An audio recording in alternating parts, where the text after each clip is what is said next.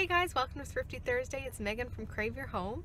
Um, I'm going into the dollar store today to see if I can inject some color into my home decor. I am tired of looking at the bleak winter days and spring is hopefully around the corner. Easter is coming up so I wanted to get some bright pastel colors in there and uh, liven up the space, give my space some energy. So let's go see what they have.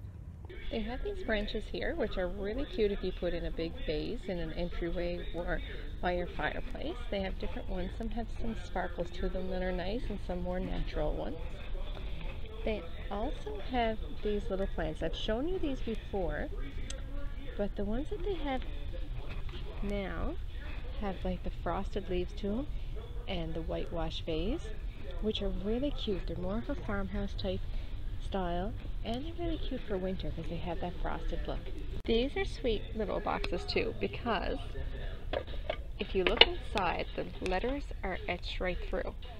Which means if you put a little battery operated tea light in it and light it up, they will light up and the letters will light up. And so they're really cute to keep a little um, natural wood around for winter. Really sweet for a warm winter decoration.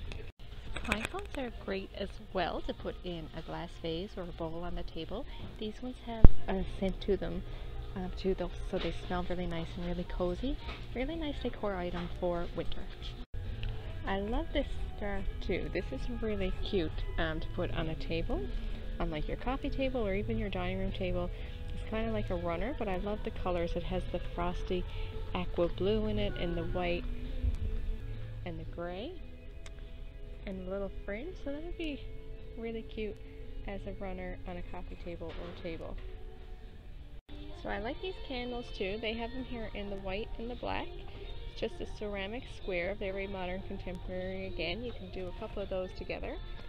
Um, or you can just have them separate like that, but they're cute. They also have these ones down here, which are really nice. They have like a, a glisten to them. They have the three different colors, gray, blue, and white. They just have a really nice wintry kind of look with the shine to them and the sparkle so they're really cute for winter decor as well. I love these wine glasses as well. They have like the frosted bubbles on the bottom, which are really cute. Really nice for some winter design as well.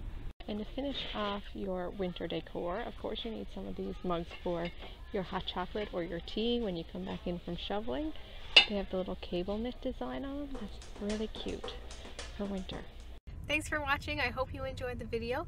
And if you have a certain color that you're incorporating in your uh, decor this year, by all means let me know. I love to get inspired by all you guys.